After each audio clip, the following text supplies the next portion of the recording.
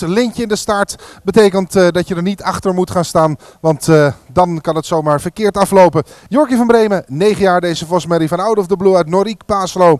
Gefokt door een bezit van de heer Turkse maat. Paard is het, eh, wordt getraind door Frank Westerveld. En kan lezen en schrijven met de winnende jockey van vandaag, Sietske de Vries.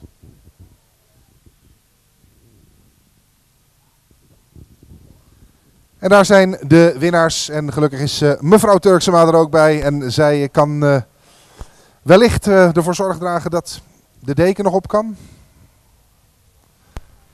Nee, Sietske die zegt liever niet. En dat waarderen we uiteraard. Dan komt de deken mee met mevrouw Turksema. En maak jij je eerronde, Sietske. En de bloemen gaan ook naar de eigenaresse. En dan danken we Smit en de Wolf BV, belastingadviseurs, voor een geweldige bijdrage aan deze dag. Daar is ook meneer Turksema. En eh, zo een heel mooi plaatje van de familie. Hun geweldige Jorkie van Bremen, van Rustaf alweer gelijk, de allerbeste. En eh, de dame die dat eh, altijd met hem doet, Sietske de Vries. Sietske, maak je een ronde. En geniet van het applaus hier op Alkmaar. Win op tweede paasdag blijft toch altijd een hele mooie belevenis. U kunt in de handen, dames en heren, voor de winnaars van de elfde en voorlaatste koers. Jorkie van Bremen. En nou, we gaan toch nog wat proberen.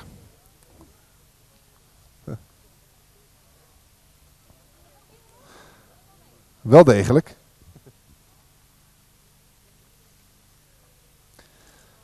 Ere wie ere toekomt. In dit geval de geweldige sponsor Smit en de Wolf BV Belastingadviseurs.